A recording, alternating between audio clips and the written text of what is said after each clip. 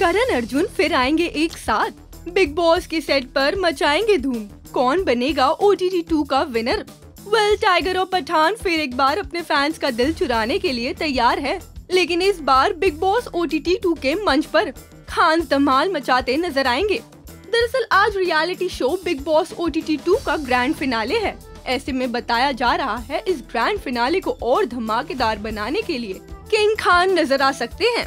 Well well, जहाँ भाईजान और पठान एक साथ हो वहाँ धूम न मचे। ऐसा कैसे हो सकता है?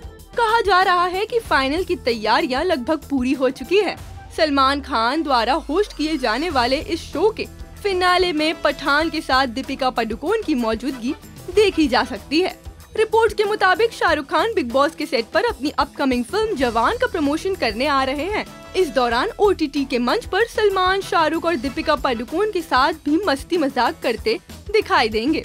इसके अलावा शो के फिनाले में आयुष्मान खुराना और अनन्या पांडे भी अपनी फ़िल्म ड्रीम गर्ल टू का प्रमोशन करने के लिए पहुँच सकते हैं। पर इस खबर को लेकर कोई ऑफिशियल जानकारी तो सामने नहीं आई है, लेकिन इस खबर से किंग खान और भाईजान के फैंस की खुशी का कोई ठिकाना नहीं है। आपको बता दें इस शो का फिनाले जियो सिनेमा पर 14 अगस्त यानी आज रात 9 बजे टेलीकास्ट किया जाएगा।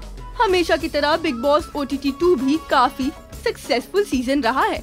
लेकिन इस बार का फिनाले काफ़ी धमाकेदार और मज़ेदार होने वाला है। इस सीज़न में फ़िलहाल पाँच फाइनलिस्ट रेस में हैं, जिसमें अभिषेक मल्हान एलविश यादव मनीषा रानी पूजा भट्ट और बेबिका दुर्वे का नाम शामिल है। अब इन पाँच कंटेस्टेंट में से कोई एक बिग बॉस की ट्रॉफी अपने नाम करने वाला है। और वो कौन होगा?